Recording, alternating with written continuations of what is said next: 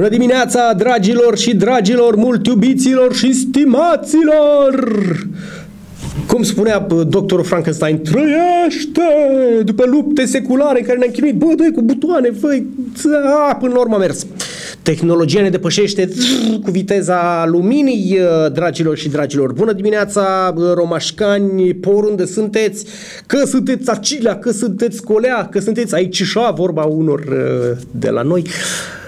Bine ne-am regăsit la o altă ediție a 24 de titluri. Neața, Dan, Neața, bine ai venit uh, pe pagina de Facebook uh, Roman24 online. Băuș, cafeluță? Ha? Am băut doar două astăzi. Ați văzut mă ce vreme ci că se anunță uh, în urmă cu câteva luni, mi-aduc aminte, spuneau meteorologii se anunță o vară secetoasă. Bine, vă mulțumesc frumos din partea voastră că ne anunțați în urmă cu câteva luni că ne așteaptă o vară secetoasă. Unde?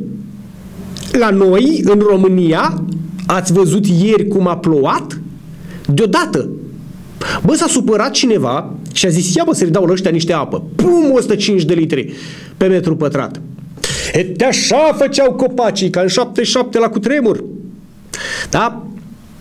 Curgea apa din, uh, din burlane pe direct, ca alea de negru din filmele porno, adică plin. Frate, m-au omorât.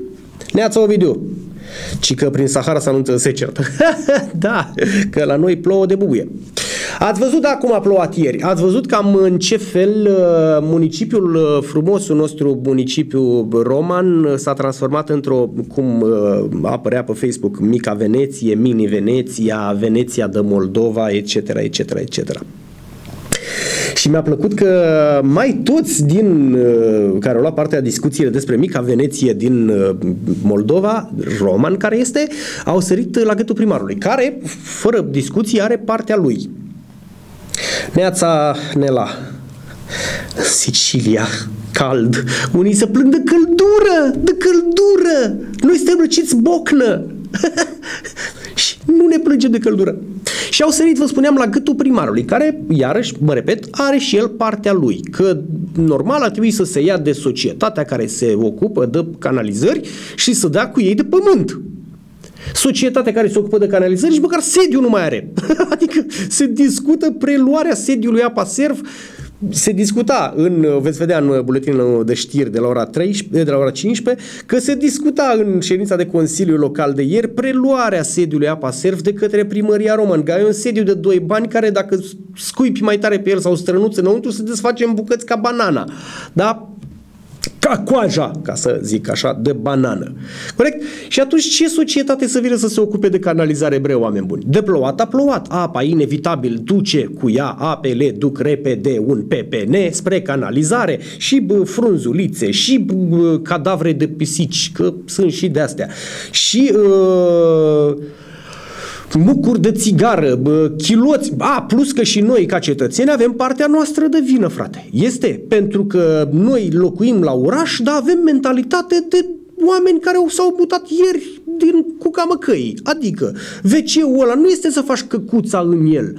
wc ăla este să arunci prosoapele murdare în el. wc vasul de toaletă, zic, la care trage apa, apeși pe buton și ele se duc la vale făcând, da? Acolo arunci resturi alimentare.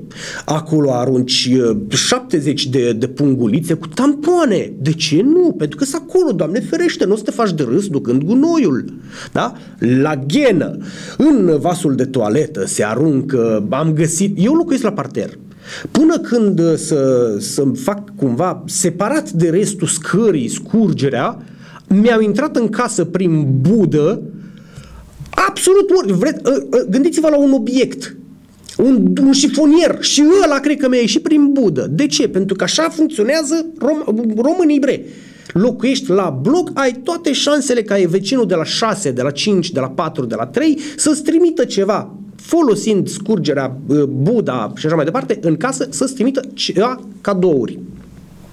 Am primit prin Budă un cap de cocoș. Și nu exagerez, nici nu mint.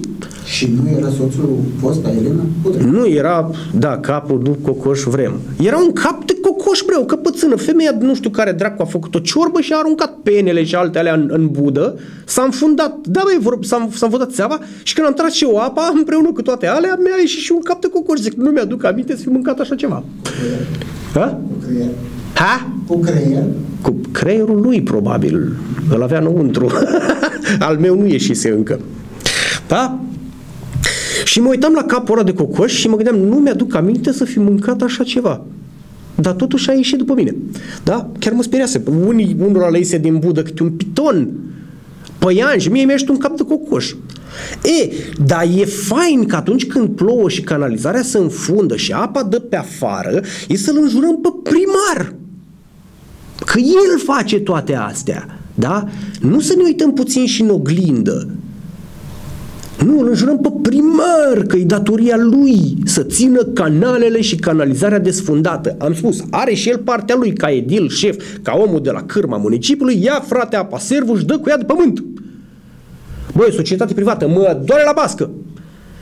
E o societate care nu-și face treaba. Ia apa servul, dă cu ei de pământ, frate. Ești primar.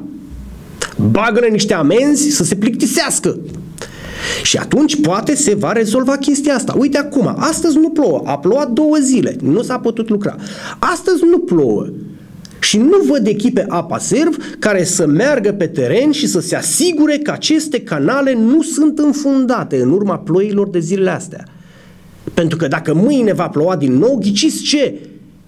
Se vor înfunda și apa va rămâne pe stradă și o să ne plângem iarăși că sunt inundate străzile și că ne-a intrat apa în curți, în grădini, în beciuri, în scara de bloc și că primarul tul în lampă e nenorocit, in, uh, incapabil. Da? În loc să vedem că ăștia de la apa serv sunt niște sugative care nu-și fac treaba. E atât de ușor de văzut, ce e așa de greu? Există o societate care se ocupă de porcăria aia de canal. Uite așa m-am luat eu de dimineață de apa serv. Îmi pare rău că trebuie să, să fac chestia asta. Dar noi nici măcar nu știm. Noi ne enervăm, noi ca cetățeni ne enervăm, ne sare muștarul, dar nu știm la gâtul cui să sărim. Și atunci, evident, sărim la gâtul persoanei pe care am numit-o în funcție ca să se ocupe de problemele noastre. Una dintre ele fiind și asta cu canalizarea. Păi ia-l bre și dă de pământ, tu ca cetățean, el la rândul lui, primar ce el să ia de gât o societate care nu-și face treaba. Dacă ăștia de la Rosal n-ar strânge gunoiul, ar sări la gâtul lor. Este. Și a plouat, și a fost urât, și s-a inundat Romanul. Înainte de alegeri spuneam că un oraș care nu e inundat nu merită să schimbe primarul. Mai țineți minte că am spus chestia asta? E, s-a inundat și Romanul. Zone din Roman, evident. Sunt zone în Roman în care nu s-a făcut o canalizare nici măcar acum. Au trecut un sfert de secol de la Revoluție, de când am scăpat de comunismul ăla atât de rău, da? Și nu au făcut canalizări nici acum. Sau asfalt. Sunt zone în oraș în care, într-adevăr, ei au rămas în urmă cu un sfert de secol. Sunt zone în oraș în care oamenii trăiesc și acum pe vremea lui Răpușcatul.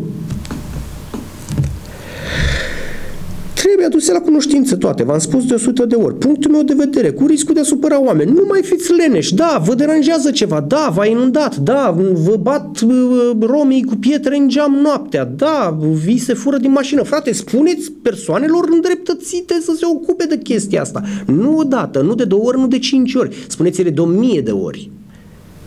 Vă repet, oamenii din aparatul de conducere a romanului lucrează pentru voi, ei sunt angajații voștri. Puneți-i la treabă. Păi nu e logic atunci când tu mergi pe ideea asta, bă, că nu pot să-i spun eu că e primar, frate. Păi de aia spune-i că e primar. Pune-l la treabă și la, după patru ani vezi dacă omul ăla ți-a ascultat doleanțele sau nu.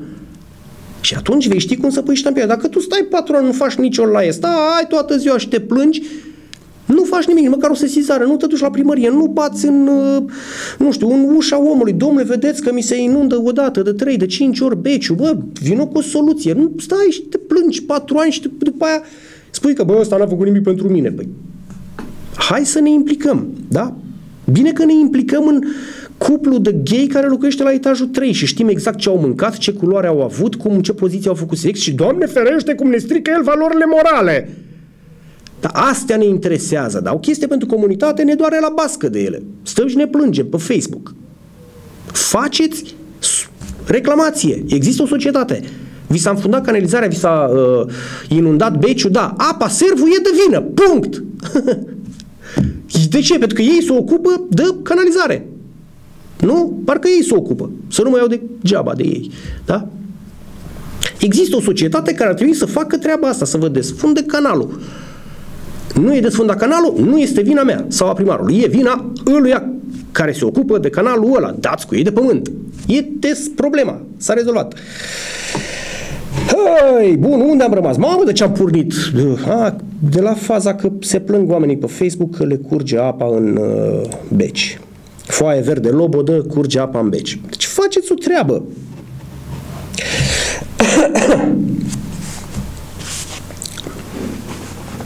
Nu știu dacă se laudă primarul cu realizările apa serv. Hai să fim serioși, video.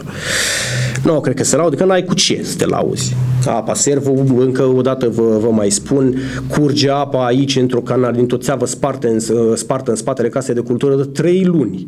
Am făcut sugestii, am făcut reclamații, am făcut de aia înregistrată și stau și mă uit și acum curge apa.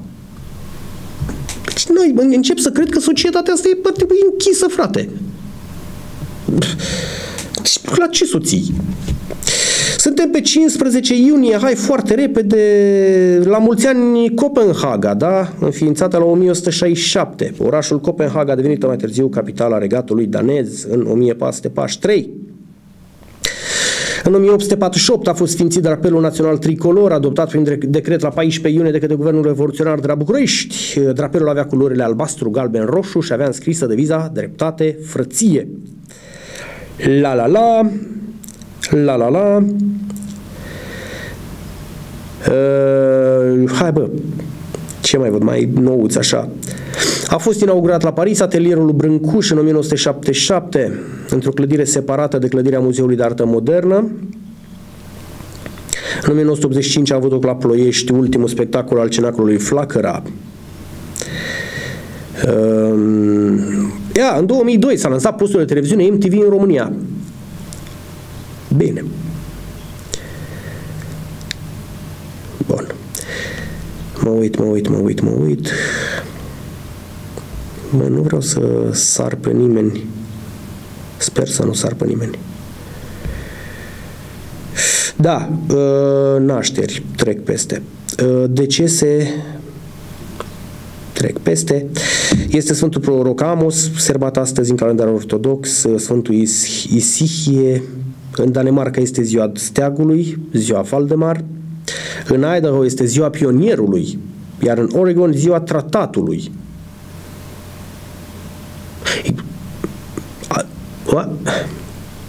Ziua pionierului? Adică ce vrea să zică? Aș putea să intru și să văd ce e aia ziua pionierului, dar vorbim de Statele Unite. Așa, a murit Eminescu azi, da. A murit în 1889. Poet, prozator și jurnalist român, Mihai Eminescu. Și că nu se aude. Eh, nu mă mai auziți? Cum adică nu mă auziți? De ce să nu mă auziți? Oamenii mă aud. Nu se poate, dați drumul la boxe. Cum să nu mă auziți? Sunt în regulă? Sunt în regulă. Da? În a, vă spunea că în Oregon este ziua tratatului, în Idaho ziua pionierului. Hai să trec, mamă, dacă te chestii deschise aici. Hai să trec de... Ce am făcut? Ce am făcut? Nu! No! Vai dacă mi-am închis toate alea. am scăpat. Bun, au descoperit în sfârșit oamenii de știință pentru că conform unor studii, da, V-am mai spus povestea asta conform unor studii, orice urmează după sintagma asta conform unor studii uh, e foarte credibil. Nu știu de ce.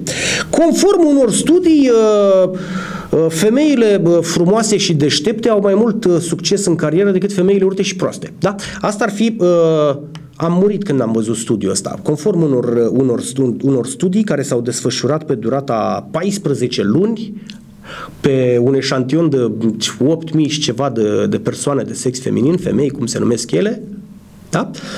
Cercetătorii care au cheltuit uh, peste 100 de milioane de dolari au ajuns la concluzia că femeile frumoase și deștepte au mai mult succes în carieră decât femeile urte și proaste. Clink? Serios? Nici nu mă așteptam. da? Conform unor studii, nu e bine să mănânci zăpadă galbenă. Prostii de genul ăsta. Conform unor studii, orice urmează după sintagma asta, conform unor studii, este credibil. Oamenii cred chestia asta. Băi, conform unor studii, nu-i vina nimănui. Da? Au aflat cercetătorii, ne scriu cei de la Epoch Times România, ce mănâncă sportivii, care este dieta sportivă. Că s-a descoperit piramida uh, mâncării sportivilor. Ok? Și mă uit. Cercetătorii au descoperit piramida alimentară a unui fotbalist în cea mai bună formă. A unui fotbalist. Da? Mă uitam pe piramida asta atât de faină, băi, și nu văd nicăieri liniuțe. Bă, nu văd unde e heroina. Adică mă uit, văd pește, dulciuri, multe lichide, lichide, da? Nu văd liniuțele, frate. Să mor eu. Ce mănâncă un fotbalist? Vă interesează ce mănâncă un fotbalist aflat în cea mai bună formă? A? Zice cam așa, piramida alimentară a sportivilor include toate elementele în proporții variabile. Campania subliniază faptul că nu există niciun produs alimentar miraculos care în mod uh, magic uh, dezvoltă mușchi. Ba da, se numesc steroizi și se folosesc, dar se trec cu vederea. Da? În toate sporturile. O noutate. Se folosesc. Așa, așa, așa, așa. Alimente sănătoase, cereale, paste, orez, Asta e așa că e pe primul nivel, pardon, are la bază lichide, apă în primul rând. După aia vine vinuțul, Jack Daniels, că fotbaliștii știm cu toții nu sunt săraci. Fotbaliștii câștigă niște bani. Da? Cum râdea cineva ieri pe Facebook. Bă, mi se pare absurd sportul ăsta. Ai 22 de oameni în toată puterea care aleargă după o chestie umplută cu aer. Deci, practic, ei aleargă după niște aer, fugărind aer în mijlocul la mai mult aer. Și pentru asta câștigă foarte mulți bani. da? E un punct de vedere și ăsta. Uh, în timpul unor competiții sportive și după se pot consuma și alte băuturi suplimentare. Pe urmă, ci că al doilea element fundamental, fundamental în dieta jucătorilor de fotbal uh, o reprezintă fructele și legumele. Fructe și legume. Pe urmă, cereale, paste, orez. Hai că curios. Uh, pe urmă, lapte și produse lactate. Pe urmă, grăsimi vegetale, da, ulei de măsline, fructe uscate, eu mă. Și al șaselea nivel este ocupat de carne roșie și albă, pește, ouă și legume, două, trei prostituate sau, de ce nu, niște fotomodele pe care poți să le iei chiar de nevastă. Ele fac parte din dieta fotbalistului. Când ați văzut ultima oară un fotbalist care să nu fie uh, cuplat într-o relație sau căsătorit sau spre a se căsători cu un fotomodel? hai, să nu fiu răutăcios, fotomodel uh, cântăre, cântăreață um, exotică în braziliană, Venezuela, Republica Dominicană, Argentina, pe acolo, da? Și vorbesc de români. Pe urmă, dulciuri. Asta ce ar fi dieta fotbaliștilor. De succes. Doamne ferește. Niște oameni care fugăresc o... Da, corect, corect. Bună dimineața de la... Oh. Morning to you, sir. Ți-am zis bine, Neața din Roman pentru Londra, Alex. Liniuțele nu se mănâncă, se respiră, Cătălina, să rămână. Da, e, ce... Eu nefăcând liniuțe, n-am idee. Nemai făcând linii. E o poveste întreagă, nu mă întrebați că mă apuc să vă povestesc. Și nu vreți, aveți încredere. Da, liniuțele nu se mănâncă, ele se trag pe nas. De aia fotbaliștii au respirația foarte bună și miros mereu a plante. Da, n-am uh, pic de respect pentru, sincer vă spun, hai, supărați-mă pe, supărați-vă pe mine, pf, sincer, prea puțin în pas, am zis eu altele și mai nașpa, uh, n-am pic de respect pentru, pentru fotbaliști. Deloc. Poate fi rău, tot ce poate fi invidios. Cercetătorii, trec la alt subiect, au descoperit secretul sex appeal la bărbați. Da, pentru că aveam nevoie de așa ceva. Un studiu realizat în comun de cercetătorii de la Universitatea din Carolina de Nord de cei de la Chapel Hill și Universitatea din Buffalo au constatat că abilitatea bărbaților de a povesti este un factor important în percepția statutului lor și activi- actra- a- a- activității pentru sexul opus. Băi, da, mi-aduc aminte. Păi când eram în Spania și eram cu fosta, fostă, fostă, nu mai știu câte foste în urmă, și mă apucam să-i uh, stătea cu, cu capul aici pe, pe piept la mine și eu uh, vorbeam și adormea instantaneu. Nu știu dacă e sex appeal sau plictiseală, crâncenă, dar aveam efectul ăsta. Hă? Se cheamă sex appeal și ăsta? Adică băgam imediat în pat. Că adormea buștean, adică. Da? Cum mă apucam să vorbesc? Și zic, gata, iubito, e momentul să mergem în pat. De ce? Ai adormit, bre. Ia săraca. Mergem în pat? Da, sforăi. Trebuie să dormi, adică să te Abilitatea bărbaților de a povesti este un factor important în percepția statutului lor. Eu am avut mereu senzația că dacă vorbești, ești, uite, ești la o întâlnire cu o tipă, da? Și vorbești cu persoana respectivă și vorbești tu mult, ea o să fie ceva de genul, bă, frate, ăsta nu tace niciodată. Adică, sincer, eu am ieșit la o întâlnire cu el în ideea că voi găsi o persoană care să mă asculte, nu care să vorbească în continuu. Oamenii de știință au analizat trei studii pentru că mă chineam cu mouse-ul pe tabletă, da? Oamenii de știință au analizat trei studii pentru a examina în funcție de gen cum capacitatea de a povesti influențează nivelul de atractivitate a unui individ sau partener romantic atât pe termen lung cât și pe termen scurt. Echipa de cercetare a analizat 388 de studenți, uh, dintre care 55% femei. Fiecare persoană a fost rugată să evalueze nivelul de atractivitate al unui potențial partener romantic. Nivelul de activitate era declarat în baza unei biografii pe care Știți cum e aici? E ca în bancul ăla. Băi, am intervievat 18 tinere pentru funcția de secretară. Una din ele... Salutare Ravena, Camelia, să rămână. Una dintre ele era expertă contabil, alta era stenodactilografă cu 18 ani de experiență, una vorbea 16 limbi străine, cealaltă era un foarte bun, nu știu, manager de asta financiare și pe care a angajat-o, pe aia cu sânii mari. Da? La fel și cu studiul ăsta. 388 de studenți, 55% femei, da? 45% bărbați. Și i-au rugat să evalueze capacitatea de a povesti și modul în care se simt atrași de persoanele care povestesc. Și cine a ieșit uh, cel mai de succes din grupul ăsta? Uh, tipii care au bani. Ei, nu trebuie să, nu trebuie să povestească, e de ajuns să facă așa și devin atrăgători. În România, pe de altă parte, funcționează oarecum aceeași poveste, dar pe lângă că trebuie să aibă bani, trebuie să fie musai manelist. Să aibă un lanț așa mare la gât și să aibă mașină mișto cu număr de Bulgaria. Da? Și sunt, au sex appeal. Nu e sex appeal. Taci mă din gură, mai are importanță. La banii pe care are poate să-și cumpere sex appeal. Pentru femei, capacitatea ca povestitor a unui bărbat a contat în mare măsură. Răspunsul femeilor în ceea ce privește atractivitatea bărbaților a fost în relația strânsă cu o biografie mai lungă. Cu cât era mai mult scris, cu atât era mai atractiv bărbatul. Ua? Adică dacă eu iau alea 15 capitole pe care le-am scris despre trecutul meu și le prezint unei tipe, o bag în pat? Da, de plictiseală, că doarme! Sau o bag în patul altuia, că mi s-a mai întâmplat să pățesc chestia asta, da? Te chinui ore în șir să agăți o tipă și la final ai un prieten care se ocupă de situație. Uh, pentru bărbați însă capacitatea femeilor de a povesti pare, o fi, pare a fi un semn de inteligență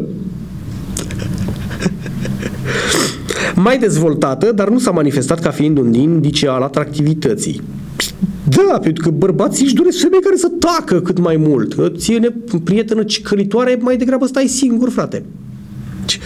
Îi place... Cum te înțelegi cu prietena ta? Băi, e foarte, e extrem de atractivă. Da, ce face? Vorbește în continuu. Dar ce zice? Povestește cine o bag în seamă. Am învățat să Când vorbește, eu aud marea, adică m-am dresat să aud pe scăruși, vântul, bătând pe frunzele copacilor. Nu știu despre ce vorbește ea acolo, dar o văd dând din buze în continuu. Și atât de atrăgătoare cât... Da? Atractivitatea, măi, eu merg pe altă idee. Eu sunt unul dintre persoanele, una dintre persoanele care, în primul rând, nu crede în dragoste la prima vedere. Mi se pare de o prostie crâncenă chestia asta. Dragoste la prima vedere. Fără număr, Camelia! Neața. o prostie fără, fără, fără seamăn. Bai, m-am îndrăgostit de ea la prima vedere. Vasile, te-ai îndrăgostit de fizicul ei. Vai, m-am îndrăgostit, cum am pus ochii pe el, m-am și îndrăgostit. Fată dragă, te-ai îndrăgostit de fizicul lui. De ce? Pentru că asta ai văzut la prima vedere. Se numește prima vedere. Adică îl vezi prima oară, numai fizic poți să-l vezi. Că nu-i vezi creierul.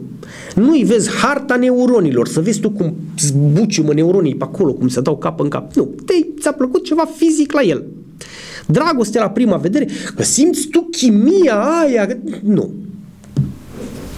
Când vezi un tip pe stradă cu care nu ai interacționat, sau o tipă cu care n-ai interacționat niciodată, n-ai cum să te îndrăgostești de persoana respectivă, din prima. Poți să fii atras de persoana respectivă, asta e altă poveste. Și poți să fii atras cum? Fizic, bre, îți place de fundul ei. Sau a lui, în funcție de preferințe. Da? Dragoste la prima vedere. Mă lași? La fel și cu ăștia. Unde a rămas? Unde a rămas? Un, un indice al activității nu este, în ceea ce privește uh, bărbații, uh, capacitatea femeilor de a povesti. Nu este un indice al atractivității. Dar care este? Ăsta e un indice al atractivității. Ăsta e. Sau dacă vezi din spate, partea din spate care este. La început. A, că pe urmă te duci în oraș cu ea, îți faci curaj, o inviți în oraș, da? Stați la o cafea și începe să te atragă și intelectual care te vezi că, băi, merge mintea, poate vorbi, are opinii proprii, da, ține la un dialog. S-ar putea la fel de bine chiar să te sperie chestia asta și să fugi de nebun. Mie îmi place că pentru ele capacitatea lor a bărbaților de a povesti este interesantă, pe când pentru ei capacitatea femeilor de a povesti nu. de ce? Că călitoare, bre! De aia. că călitoare. Tinder va fi interzis celor sub 18 ani, dar nu era interzis și până acum? Interzisul ăsta a acțiunilor pe internet persoanelor sub 18, 15, 13, 7 ani, iarăși e o mare prostie. De ce? Pentru că nu îl poți verifica. Da? Adică există chestia aia care zice dacă n-ai 18 ani, nu intra pe site-ul ăsta. Da, și cine o să verifice? Da, îi clica, am 18 ani. Vai, introdu aici data nașterii ca să vedem că ai 18 ani. Bă, 2016 minus 18, faci acolo un calcul și gata, brusc ai 18 ani pe net. Mor la fazele astea. Tind, deci nu știu cum se poate face să, într-adevăr, copiii să n-aibă acces. Ai, trebuie să intervină părinții și să le pună un loc de la parental, știi? pe net. Dar, așa cum v-am spus eu și altă dată, marile probleme ale omenirii uh, anului ăsta, anilor ăștia, e următoarea. Uh, ce downloadează băieții lor, copiii băieți de pe internet și ce uploadează fetele pe internet. Aia e una din marele probleme cu internetul în ziua de azi. Tinder, controversată aplicație cunoscută în special pentru găsirea de parteneri de ocazie, a anunțat că va limita accesul la servicii pentru persoanele sub 18 ani. Băi, apropo de Tinder, în urmă cu vreo două săptămâni, am încercat și eu aplicația asta. Uh, nu mă întrebați de ce. Sunt singur, mi-e foarte bine. Tot ce vreau este un partener de ocazie și în rest să și plece acasă. Eu sunt un romantic incurabil, da? Trebuie un partener de ocazie, ne simțim bine, fiecare la măsa pe gheață. Și dacă e să ne mai vedem, ne mai vedem. Dacă nu, și mai bine. Da? Și am încercat cu Tinder-ul. Nu să găsesc un partener, dar zic de curiozitate. Să văd, n-am căutat pe cineva anume. Am intrat pe Tinder, dă, dă la stânga, dă la dreapta, dă la stânga, nu mai știu exact care e regula, la stânga treci peste, la dreapta i dau gen favorite sau ceva de genul ăsta. Bă, frate, numai nebuni. Deci am văzut la organe de m-am plictisit. Da, vorbesc de Tinder aici? Da, de Tinder. De unde mai adăuga? De unde, de unde știai? Păi, ești pe Tinder, adică speram să putem vorbi. Da, mă cunoști? Nu, de asta am intrat în vorbă cu tine, ca să ne cunoaștem. Da, tu crezi că eu vorbesc cu oricine? Păi nu de asta ai venit pe Tinder ca să vorbești cu oricine? Ha, da, dar dacă ești vreun maniac, păi n-ai de unde să știi, trebuie să ne vedem. De unde știi tu cine sunt eu? După două discuții de astea inteligente m-a lăsat pe gubaș. Tinderul nu-i de mine. Sincer. Și acum se pare că nici pentru copiii sub 18 ani nu e. Copiii ăștia mici care intră pe Tinder ca să vadă și ei una alta. Da? Că Tinder, Snapchat, uh, mai zim, uh, FaceTime, FaceTime, ceva de genul ăsta, dar toate astea sunt ca să-ți trimiți intimitățile cuiva. E plin de copii. Mie îmi place chestia asta. Tinder vrea să restricționeze accesul copiilor sub 18 ani. Dar cum o să facă chestia asta? Nu știu. Se pare că Tinder încearcă să devină o companie mai responsabilă, încercând astfel să protejeze minorii. Desigur, pentru a putea trece de această limitare, nu trebuie decât să schimbi o setare în Facebook. Întrucât autentificarea pe Tinder se face exclusiv prin intermediul Facebook, va fi foarte ușor să se restricționeze accesul persoanelor sub 18 ani. Serviciul va verifica data nașterii de pe profilul personal și dacă utilizatorul are 18 ani împliniți, va putea să continue să folosească aplicația. Tot ce trebuie să faci este să intre pe Facebook și să schimbi data nașterii. Ăia o să verifice, o să vadă că e ok și o să-ți dea voie. Întrucât vârsta minimă pentru... Și, și cum? Cu Facebook, care Facebook-ul că nu permite persoanelor sub 13 ani să-și facă cont pe Facebook. Da? Știați asta? Foarte mulți minori ajungeau pe Tinder având 13 ani sau mai mult. Dar în primul rând pe Facebook intră copiii care nu au 13 ani. De ce? Pentru că poți să schimbi data nașterii. Pui data nașterii pe care o vrei tu. La fel cum într-o perioadă eu vorbeam Swahili, poți să schimbi chestiile astea. Și intram pe Facebook din Indonezia ca să pot avea un singur nume. Înainte de a avea numele actual pe Facebook, eram neamțu. Toată lumea mă știe de neamțu. Da? Și mi-era foarte ușor să fiu recunoscut în continuare așa. Numai că Facebook nu-mi dădea voie să am un singur nume, Așa că am trecut printr-un server din Indonezia ca să am un singur nume. Și eram cu neamțul până s-au prins ăștia și m-au forțat să revin la numele meu inițial. Cu alte cuvinte, toate datele de pe Facebook pot fi schimbate, inclusiv data nașterii. Așa că chestia asta cu uh, copiii sub 18 ani nu mai au voie să intre pe Tinder e fix da, e bine că vor să devină o firmă responsabilă. Ah, unde a rămas? Inundații în România, centrul orașului Tulcea a fost cuprins de apă după o ploaie torențială. 200 de locuințe au fost inundate în Dolj. În Timiș, circulația pe autostrada 6 a fost afectată de o viitură. De adevăr, a plouat foarte puternic. Foarte, foarte puternic. Poate ar fi momentul să ne adaptăm. Ne uităm pre... Măi, uh, nu, mie îmi place că avem acces la informație și vedem cum se face în alte țări. Oamenii care au capul pe umeri și vor să nu se mai repete chestiile astea, evoluează. Nu ei ca oameni. Încearcă să găsească modalitatea ca așa ceva să nu se întâmple, să nu se mai repete. Da? În ce sens? Frate, decopertăm străzi, una câte una ușurel în 4, 5, 6 ani și punem țevi tuburi mai mari pentru scurgerea apei. Corect? Nu mai punem țăvuști din astea atâta pe care le foloseam noi când eram mici să stuchim cornete. Punem tuburi de alea mari de ciment. Corect? Ăsta va fi un disconfort. Oamenii vor înjura. Evident că trebuie să decopertezi străzi întregi. Hai să nu mai folosim gurile de canal pe mijlocul străzii. Să facem scurgerile cum e în lumea normală la baza bordurilor. Uite așa niște scurgeri sănătoase ca apa să intre în ele. Da? Nu mai folosim niște găurele ete atâta care să înfundă cu gumă de mestecat. Ar fi o idee. Da, va fi un disconfort. Da, nu poți să-i mulțumești pe toți. Da, oamenii vor înjura ghinion. La final îți vei da seama că nu vei mai avea orașul inundat. Băi, eu zic că merită.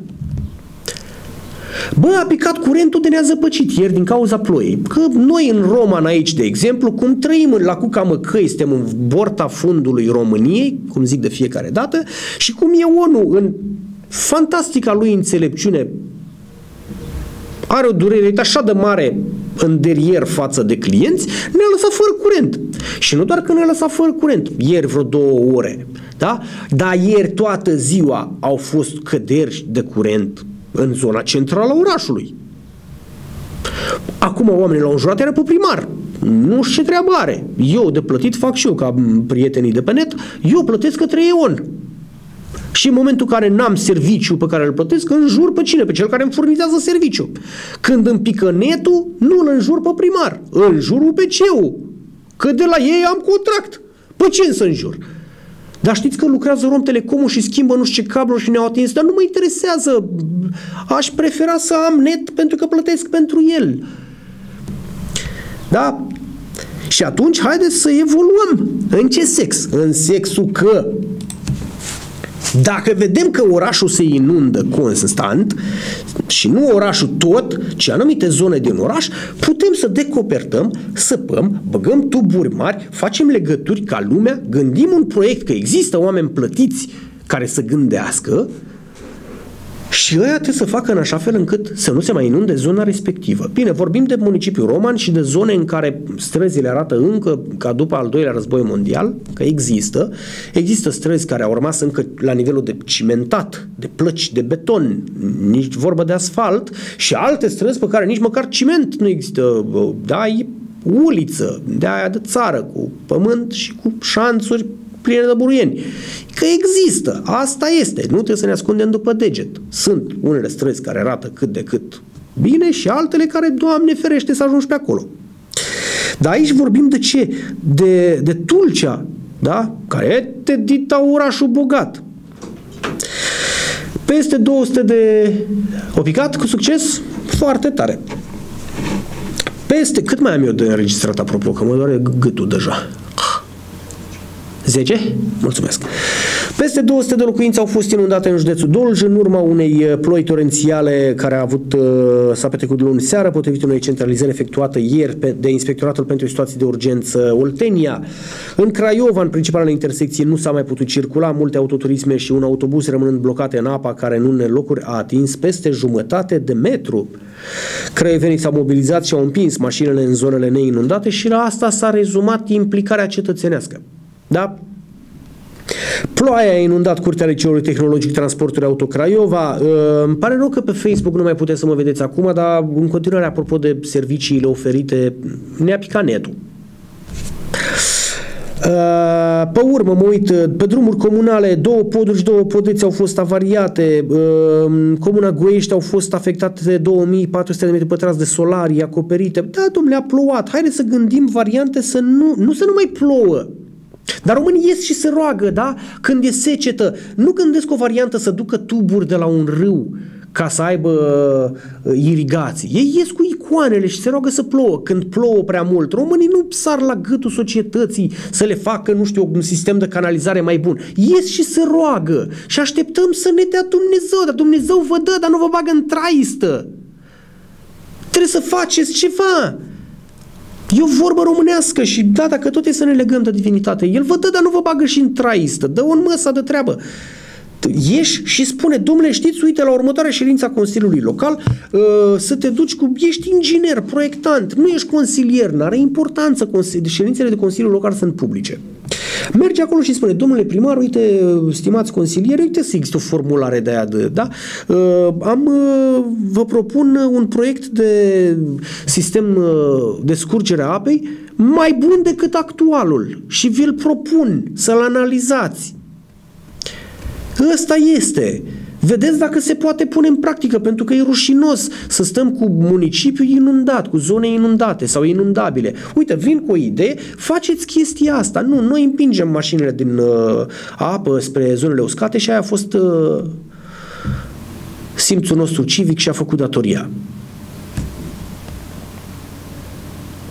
Una din cărțile uh, foarte bine vândute, cică, uh, liber la copyright și un uriaș succes de casă în momentele astea este Mein Kampf de Adolf Hitler. Uh, această carte, Mein Kampf, a fost scrisă între 1923 și 1924 pe când se găsea încarcerat în Bavaria. Se reducă din, uh, din pedeapsă, probabil. Uh, pentru tentativă de lovitură de stat eșuată, această carte, Lupta mea, Mein Kampf, a devenit cartea de căpătie a național-socialismului. La fel s-a întâmplat câțiva ani mai târziu cu cărticica șefului de cuib, de Corneliu Zelea Codreanu, care oferea o stranie ideologie uh, stranie, da? mișcări legionare din țara noastră. Micuța carte roșie a lui Mao Zedong, uh, după câțiva zeci de ani, iarăși uh, o carte de un succes fantastic, mai ales pentru că a fost obligatorie peste tot. Mein Kampf a devenit la 70 de ani uh, de la moartea lui Hitler conform legii liberă de drepturi de autor, adică au aparținut până acum landului federal Bavaria. Uh, oricine poate publica această carte, Mein Kampf. În Germania, la începutul anului, a fost publicată pentru prima dată după al doilea război mondial o ediție adnotată a Mein Kampf uh, și s-a situat de la început pe primele poziții ale topurilor de vânzări, ajungând în scurt timp pe locul 1 la categoria non-ficțiune în topul revistei Der Spiegel. Spiegel. De ce nu, la urma urmei?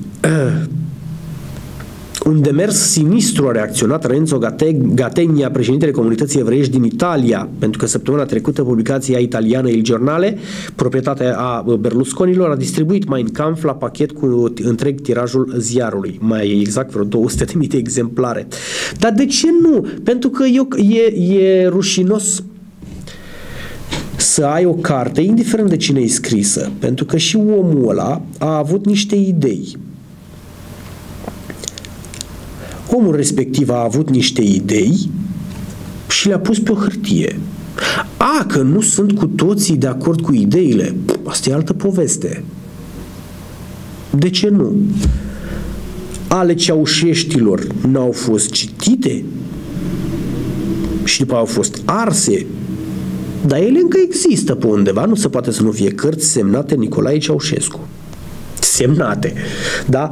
Adică vreți să-mi spuneți mie că uh, aș prefera să citesc o carte scrisă de Gigi Becali decât asta scrisă de Adolf Hitler? Se pare o carte importantă care a pus bazele unui întreg sistem social? De ce n-aș citi-o? De ce ar fi un demers sinistru, cum a spus Renzo Gata, Gatenia, președintele comunității evreiești din Italia, vorbim de evreiești care ăștia, la fel ca și feministele, să simt atacați așa de oricine, de orice. E o carte. Biblia este o carte. Și sunt persoane, gen musulmanii, care consideră că Biblia poate fi o amenințare Mein Kampf poate fi o amenințare, dar nu cartea în sine. Depinde de mâna care o mânuiește și de dobitocul care o citește, la fel cum se întâmplă și cu Coranul. Nu Coranul în sine este periculos. Nu Biblia, nu uh, spunem Talmudul sau cum se cheamă e periculos, ci dobitocii care le mânuiesc. Ăia sunt periculoși și ar trebui interziși. Cărțile în sine sunt mișto, că un, sunt puncte de vedere și poți oricând să fii de acord sau să le combați în alte cărți. Nu știu dacă mai am. Mă doare gâtul de nu mai pot. Mai aveam niște 10 țări în care homosexualitatea poate fi pedepsită cu moartea, dar brusc nu vreau să mai vorbesc despre homosexual, că am vorbit despre evrei și despre Hitler. Ne-a picat netul cu succes, inclusiv pe tabletă ceva s-a întâmplat. Așadar, vă mulțumesc foarte mult pentru atenția pe care mi-ați oferit-o parțial pe Facebook, parțial pe o să fie de la ora 14. Rămâne să ne vedem mâine la altă ediție a 24 de titluri. Până atunci, care fiecare dată, toate bune!